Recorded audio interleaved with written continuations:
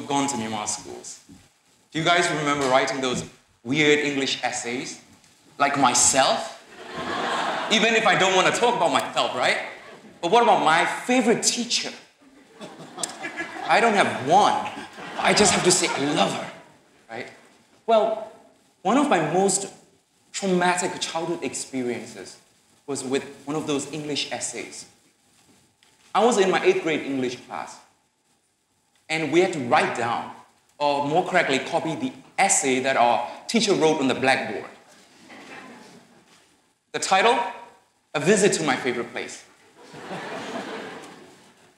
the first sentence went like this Last summer, I went to Ngapali or Piunle. Hmm, how did we go to Ngapali or Piunle?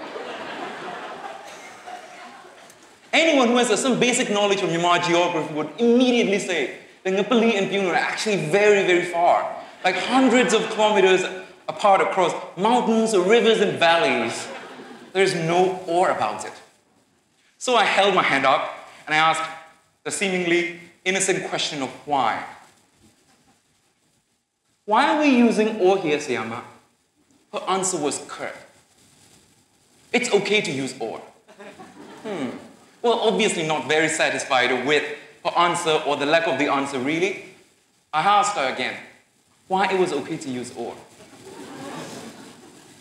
Slightly agitated, she said, Well, sometimes or can mean end. oh, not that satisfied either. I asked her, How did those two words come to have the same meaning? Before I knew it, there I was in front of the entire class, asked to pull my pants down. Soon, a few cane lashes landed on my bare buttocks because I asked many why and how questions. A reward for my childhood critical thinking. Of course, as you can imagine, I hated that teacher back then. but rather than hating her, now I've learned to analyze her feelings. Why was she so angry? Perhaps she felt threatened? But why did she feel threatened, right? The answer is actually deeper than it looks. The spirit of a dictatorial regime that permeated every fabric of our society it is that spirit that made questioning a rebellious act. It is that spirit that made curiosity an undesirable trait. In fact, our education system never escaped the touch of that spirit. There I was a little boy asking so many questions, and of course, she was going to feel really threatened or embarrassed. This is not condescending. This is my understanding. Now that I've learned to understand the way she felt on that particular rainy day, now I've learned to work with people like her, who themselves were products of a broken education system. I have faith in the power of our youth, and which is why I came back.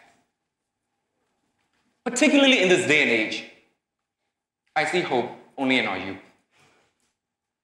And I believe that our youth can look past all those grievances that they have or are having, like I did, so that they could change the course of history for a better Myanmar but they need empowerment. And we need to make sure that our youth, for them to become future leaders of this country, to have two basic key skills, which are two sides of the same coin, really. We need to educate so that they can not only think about issues critically, but also work with other people empathetically. Our world today is technologically advanced more so than ever. Artificial intelligence, robotics, and automation on the horizon will unleash disruptive power on the job market. Two thirds of today's job market, two thirds of today's job positions will disappear a decade from now. We've got mobile banking that threatens to replace many people and out of jobs. We've got Apple Siri that is poised to to replace personal assistants. I get sometimes scared when my smartphone starts telling me, you have new memories, or you have memories from days that, that I've already forgotten about. Now that information is literally at our fingertips in this age of smartphones, the real challenge of this century is not whether we have technological access to the right information, It is whether you have intellectual access to the right information. And we need to make sure that our youth have these skills and are relevant for the, not just for the next five years, but also for the next 20, 30, 40 years. So, how can we nurture our youth so that they are ready for the next century? We need to make sure that our youth have both skills, critical thinking and empathetic thinking. We are bombarded with so much information objective facts as well as subjective feelings, opinions, and biases. And to think critically, we have to analyze all the information that we receive daily. And we have to ask ourselves what are the facts in this gigantic pool of information? From these facts, we draw conclusions, and this process happens in the left side of the brain. By thinking empathetically, we focus on the other side. Subjective feelings, opinions, and biases, and how they come about. And this process happens in the right side of the brain. So, first, how do we hone critical thinking in our youth? Many people would say, just make them ask a lot of questions. But I would say, make them ask a lot of why and how questions, because it is why and how questions that make us think of cause and effect. I went to a small liberal arts college in the United States, and um, I'll never forget that this class that I had to take in my senior year. It's the kind of class that I had the love hate, or perhaps more correctly, hate love relationship. And the course, ad infinitum, controversy, paradox, perplexity, and the idea of the infinite. Oh God. What was it about, right? Was it about Avengers Infinity War? Or Star Wars Infinities?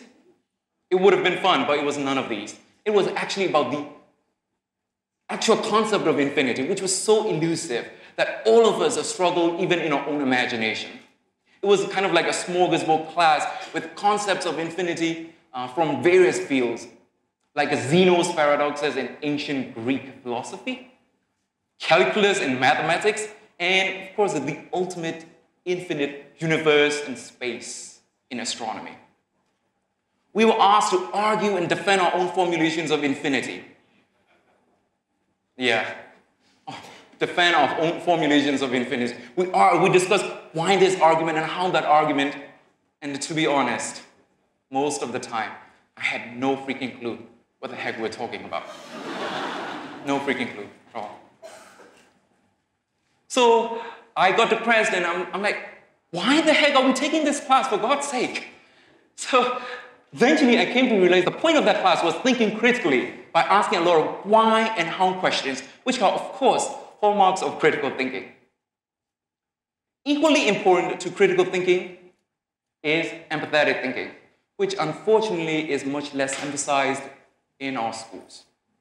In a diverse country like Myanmar, we need to make sure that nation building, since a nation building requires us to work together with many people from diverse backgrounds, races, religions, ethnicities, and perspectives, we need to make sure that our youth are empathetic, understanding why people feel the way they do, why people think the way they do, is crucial to building peace and harmony.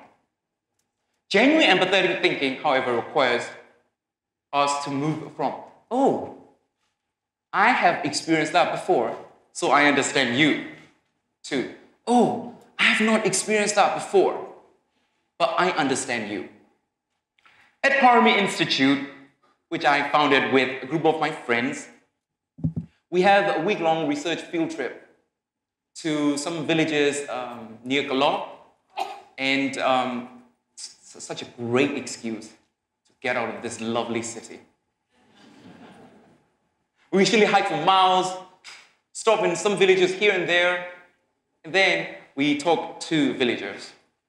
Once, a group of my friends and I went to the house of a family, and uh, the father was out and about. Uh, the mother was cooking dinner with her daughter, and we started chatting in the chilly air. and I asked her, How many children do you have? She said, Two other boys and her. Without seeing the boys, I asked her, Where are the boys? The younger is out with his dad. With a slight pause, she said, The older boy is in the city working as a waiter. I later learned that the, the, the older boy was not even 13 yet. And these cases are not isolated cases. This is actually quite common throughout Myanmar. I, for one, had the thought and judged them as short sighted villagers. But when we actually sat down and listened to their fears and hopes, we got to see a fuller picture.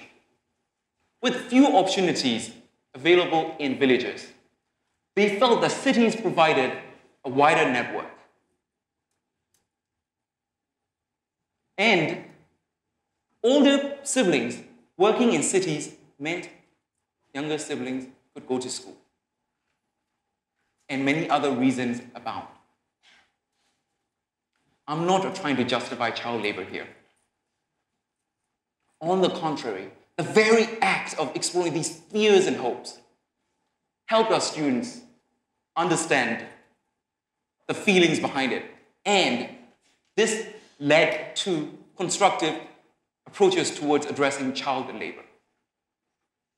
Field trips and human interactions are vital to cultivating em- empathetic thinking. Nelson Mandela once said that a good head and a good heart are always a formidable combination. And we need to make sure that our youth have both so that they could become future leaders of this country. Critical thinking and empathetic thinking, of course, are quite different, but yet they are quite complementary as well. Critical thinking in the left side of the brain and empathetic thinking in the right side of the brain must work together. Only a brain that is whole is useful enough to address challenges that are facing our youth tomorrow. Thank you.